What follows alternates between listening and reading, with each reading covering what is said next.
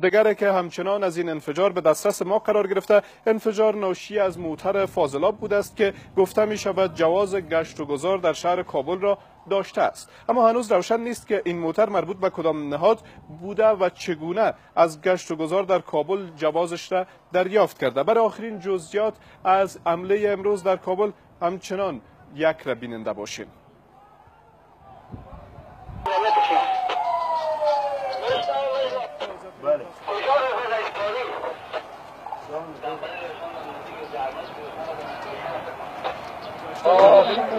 البته این انفجار خیلی قوی بوده و خسارات زیاد را تا نیم کیلومتری در شهر کابل وارد کرده است که محل رویداد خیلی ها زیاد تخریب شده است. شما تصاویر لحظات اول انفجار امروز صبح در کابل را می‌بینید که انفجار خیلی نیرومند بوده و